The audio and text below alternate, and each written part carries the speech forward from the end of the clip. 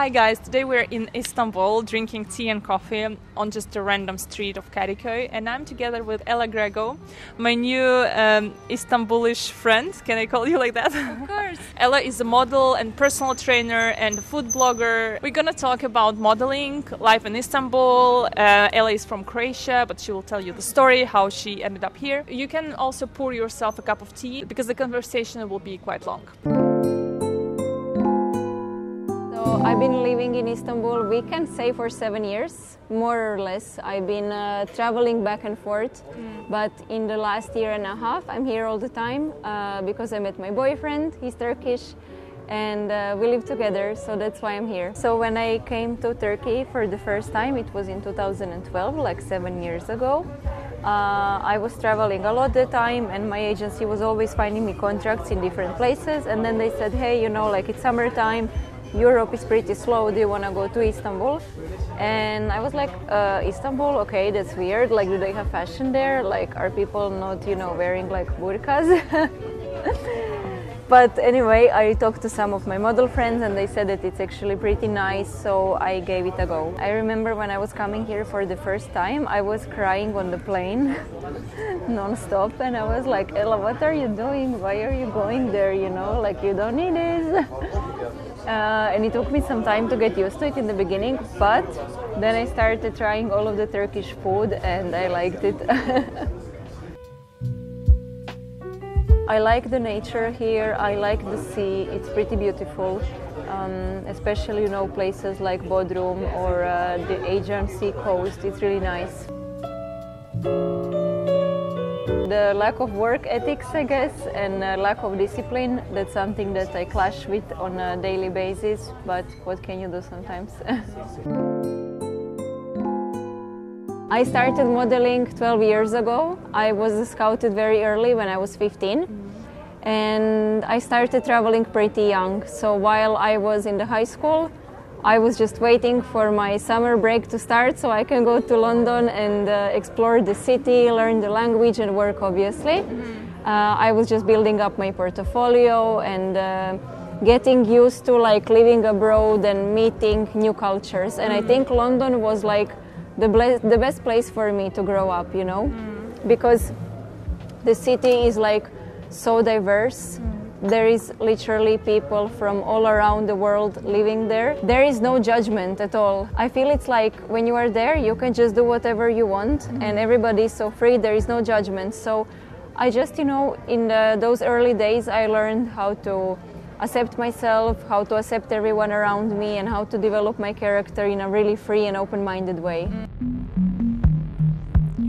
You know, modeling agencies can be pretty rough. Like, imagine a 17 year old girl walking into an agency in Paris on your first day of your contract and they just come with this measuring tape and they measure your chest, your waist and your hips. And if your hips are 92 instead of 89, uh, darling, you have to lose weight or you're not gonna work. That's pretty harsh, you know, like even though I'm all over these things now, I still get a like pretty bad feeling whenever I see a measuring tape because they just teach you how to see yourself as a number. And if your number on your hips is, God forbid, higher, then you just feel like you're not good enough. It's really, really bad for the psychology. And I believe that like girls which are not genetically blessed uh, and which are not uh, extremely skinny naturally, maybe should consider another job because it can ruin your psychology. I had some moments when my agencies were pressuring me to lose weight, and uh, I remember I was in Milan for three months, and even though I was like doing lots of cardio and walking around and eating less, I just didn't lose at all. I think because I was pressured that my body was just keeping on everything, you know. And then, of course, with those restrictive diets, there were times of overeating because you just get so stressed and so overwhelmed that you just see a pizza and you just go for it all, you know. Uh, so yeah, I went through that, but it cannot happen again. You know, I'm I got my lessons now. It was Magnum TV commercial because I ate like 17 ice creams in two hours. okay, I didn't have the whole 17 ice creams. You know, there is the Magnum crack, so you just take a bite of the bottom of the top of the ice cream. I gave it back to the guy and then he brings me the fresh ice cream. So I was just snacking on Magnum all night. It was so much fun. Book me again, guys. I think there was like some law of attraction happening over there because before I got scouted, I've been thinking about applying to an agency. But I was like, no, you know, I don't want to apply to a Croatian agency. I don't want to work in Croatia. It's not on the level that I like. And then one month later, suddenly, this woman approached me on a boat and she was like, Hi, how old are you? Are your parents around? Like, do you want to be a model, you know? Yeah. And I was there like, Yes, let me find my mom, you know? So yeah, I, I, wanted it and it happened. I think I was lucky. I started in London, then I traveled uh, around Europe, like I went to Milan, Paris, Spain, Greece, uh, Germany. Uh, I never been to Sweden though, but I really want. Denmark is also my list, especially for work and as, um, as for a holiday. I traveled to South America for work as well. I lived in uh, Chile, in Santiago, for four months. Wow. I visited uh, Argentina when I was there. Uh, I went to China only once. You know, lots of models travel to Asia and they stay in China, Japan, uh, Korea for a long time. I just did China for two months. I couldn't do more than that. I always tell them like, don't be a slave to the agency have your opinion, do what you think it's right. Because I see them being so like afraid of the agency and feeling like they have to obey all of the rules because the agencies are training you to become their puppy, you know. And I just don't want them to make the same mistakes I did. So sometimes, you know, I do teach them a bit. It feels nice to, I don't know, I feel like a little bit proud of myself to be able to say that I've been doing it for so long and I'm still like in the game and I can still do it and it's nice to have like so much experience and to be professional in mm. one field but i also feel like i gave already like 80% you know there is just a bit left and then i will have to get out yeah. the hardest thing about my work is the future of that work itself you know like I can have the most amazing job this week and I can shoot a TV commercial and I can travel to an amazing location and then three months later the season is down and you don't get to work so much. So the inconsistency I would say and the stress that comes with that, it's really hard to deal with. And also uh, maybe not being able to upgrade as much, you know, like you don't get promoted suddenly or your prices don't go up just for no reason. Um, and the best part about my job was definitely being able to travel, to see the world, and to meet so many amazing people. As a model, uh, in order to build your network, I think it's just very important to connect with everyone at a shoot, like on set. So there is a photographer, his assistant, stylist, their assistants, uh, makeup artist. It's really nice to just talk to everyone, to be super nice because you never know when they can um, book you for another job or maybe you know that assistant is gonna be the boss one day so you better be nice to everyone. You know, actually, I just talked about it in my uh, video that I shot today. Uh, a burnout, it happened last year to me. I worked non-stop for three months. I think I had none to maybe like one day off during, you know, a week. Wow. And yeah, you know, maybe some people are gonna say, come on, you are a model, but I do work really hard, you know, like just imagine changing 50 to 100 outfits in a day standing up on your feet in, in the high heels. Like, I think modeling is not something that you can really do every day, Monday to Friday, like going to the office. I got extremely tired. Um, after two months of doing that, I was already like having some crisis. I would just burst into tears when I was at work. Everybody was irritating me. I wouldn't let them touch my hair and makeup. I would just, you know, leave the room. Yeah. And I said, okay, you need a holiday. So I left to Milan for a couple of weeks. Mm to chill down. What I have been doing, I was uh, searching, you know, deep inside of myself. I was trying to understand what do I really love, what is really making me happy, and is there a job that I will be able to do without burning out because obviously I burned out because I didn't really love and enjoy what I was doing. Mm. Yes, I like being a model, but I don't really like I don't I don't like it that much yeah. to be honest like I don't want to lie and in that time I discovered that I actually really love cooking and healthy food I knew it all the time but this was the moment when I was like okay that's what I actually want to do yeah. you know because I also felt like I didn't have much more choice. I felt like, okay, I'm gonna go back to modeling and I will experience a burnout again, or I'm actually gonna do something with my passion so I can actually sustain that through a longer period. It still took me like a little bit of time until I was brave enough to start because I was really full of self-doubt. I was like not really sure if people are gonna watch, do they wanna like see just you know another model talking about food or whatever and when i felt like i was brave enough i started sharing recipes on my instagram and i opened a youtube channel. And that was like this year in january. Cooking class is something which is a, a pretty new concept i believe and i think it's pretty rare. Actually um, i don't know anyone else doing something like this. I know people doing workshops and they organize like you know raw desserts workshop for the whole weekend or like uh, vegan food or you know whatever. But i didn't like the concept so much because you go there for two days in a row morning till night.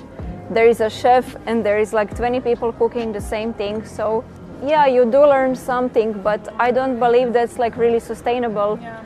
And I don't believe that helps you in your everyday life. If you go to that kind of a course and you learn how to make a vegan brownie, that's not going to make you healthier overall, you know? Yeah. It will help you to avoid like buying um, donuts, but you're not gonna eat healthy every day. And I wanted to help people change their habits and help people become healthier overall, you know? And my friends would used to tell me sometimes that I inspire them and how they start cooking healthier because of what I do. So I said, okay, maybe I can be kind of a health coach. No. Should I become a life coach? No. And I was just asking myself in which direction I exactly want to go. And I was like, yeah, I'm gonna train people how to cook healthy, you know? I'm gonna give them some knowledge on like nutrients, uh, why protein, why fat, why carbs, like what is important. Um, some good alternatives. For example, you really like your pancakes with Nutella, I'm gonna give you oatmeal, almond flour pancakes for breakfast. So, like healthy alternatives for people and practical advices as well on like food prep, meal prep, mm, so they can cook on the weekend and in the weekdays they just grab it all out of the fridge and they have a healthy dish in five minutes, you know. I was thinking about doing it online as well, but because for me, food is something that, you know, you have to touch it and smell it, and I think you really have to be present, yeah. you know. I could try doing like an online course and just test it to see how it goes. But I think for the beginning it will stay offline, yeah. you know, and it's um, it's not really exclusive, but it is petite because it's one-on-one course. I work with people individually in their homes. It's you know that kind of a service that I provide. So because of my time limits, I cannot have more than a couple of students each month. Yeah, so after like three years of coming and uh, going back, I realized that it will just be so much easier if I finally start speaking um, because lots of people don't speak English and I didn't want to like bother people around me to translate anymore. And I found this school which is like uh, a speedy course and uh, you only go there three times per week. And I signed up for the school. I realized that I'm studying pretty fast and well, and then I just continued. Um, and I'm on the B2 now. Yeah, I think for anyone who wants to learn Turkish, school is a must because it's a really different language and it's pretty complex. Um, so trying to study on your own or uh, just you know picking it up from the street, it's not going to work on the long term. Just go to school and everything will be easy. So the reason that I actually started to eat healthy is because I'm not genetically really blessed like other models. I gain weight really easily and I always had to pay much more attention. So you can see it as a disadvantage, but I actually learned how to love healthy food and how to love exercise that right now I turned it into my life, you know, into my work. And I'm really grateful for that. Chocolate protein porridge. I'm gonna post the recipe soon. Uh, it's so yummy and it's so healthy and so good for you, especially if you work out. I always love a good salad with a bunch of stuff inside, with cheese, salmon, dry fruits, nuts. I really love fish pie. I think most of the people will not like my answer. I'm sorry. Um, I am for the real body image. I really love to see unphotoshopped models. Like I love to see stretch marks. I love to see cellulite because we are all like that. I'm sure even top models do have cellulite, but I'm against plus size models. Uh, I know that there are people with like you know diseases. Most of these things can be genetic. Uh, they can have some metabolic diseases, but um, what I really don't like to hear and see is like when people gain like 50 pounds and they brag about it on social media, like, I'm healthy and happy right now. Yes, you are maybe happy, but you are not healthy because, you know, if your BMI is higher than, I guess, 25 or 30, then you are clinically obese, right? And clinical obesity is a disease. So I don't really support like people bragging about gaining weight, but I am also really against like perfect photoshopped models because nobody looks like that. Come on, I don't look like my Instagram. what are we talking about? I am for body positivism, you know, like we all have to love ourselves the way we are, and uh, nobody can love you as much as you can and we all have to accept ourselves but i'm just you know against I'm against I'm against lying. Like you cannot be healthy with a BMI of 35 because you are obese. That's all. This book by Anthony Robbins, The Power Within, I loved it. Ella Mills, Joe Wicks, Jamie Oliver, and uh, Joe Holder. Also Kirsty Godso. She's a Nike master trainer. I love her. She does crazy stuff. Nishanta Shiangalato. London, South America again. I want to visit Peru. Vintage clothes, Plus shoes, reading a book. Oh, Naomi, I was just stalking her Instagram this morning. She still got it. I'm so glad that you asked, you know, because I think that people need to be more aware of this issue. Uh, me personally, I stopped I cannot say stopped, it will be a lie, but like I really minimized buying fast fashion. Like maybe only 5% of the time I would buy something in Zara or H&M if I really, really have to. Um, I prefer to buy vintage and I prefer like not to shop because we really don't need another piece of clothing to just, you know, harm the environment. Like I have lots of clothes at home that I can use to look nice and also I believe that like buying vintage can make you look so much cooler and nicer and you can actually stand out, right? I try to eliminate food waste as well. Uh, what I do is like Hi. See you again. How are you? Yeah. So yeah, there are some things that I try to do to eliminate food waste, and uh, everybody can do it. You guys start doing it at home right now. So, for example, I'm cutting my spinach or uh, peppers like the part of the spinach that you would normally throw away or the part of the pepper that you would throw away keep it in a freezer bag collect a bit of it like you know a huge portion. And once when you have enough you can cook it to use vegetable stock. And if you cook your pasta or rice or if you use it for soups it tastes amazing. My favorite outfit at the moment would be just sneakers, but uh, maybe something that I'm wearing today. I don't know. I like to wear, I like to wear pants uh, instead of jeans because jeans, uh, jeans and sneakers are just so lazy. You know, it's like, dude, you didn't put any effort. Uh, so I like to wear dresses or pants combined with sneakers because then I get to be comfortable and look nice at the same time.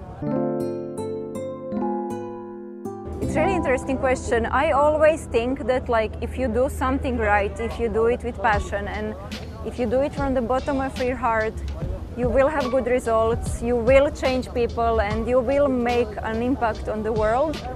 Um, and I believe that it's just important to stay true to yourself, you know, like if I get an offer from a junk food brand to promote them, even if it's the huge amount of money, I will say no because something I don't believe in. Uh, and unfortunately, there are many bloggers who will just promote anything they can just to make money, and that's a short-term success. So I'm not for that, you know. I'm very grateful, Ela, that you accepted my invitation to film this video here in Istanbul. Uh, and if you want to know more about modeling or healthy living, definitely check out Ela's YouTube channel and Instagram. Actually, she has two channels on uh, in English and in Turkish, so go ahead and follow her. And yeah, stay here on my channel if you want to learn more about other jobs, other professions, and we see each other soon again. Bye. Bye bye.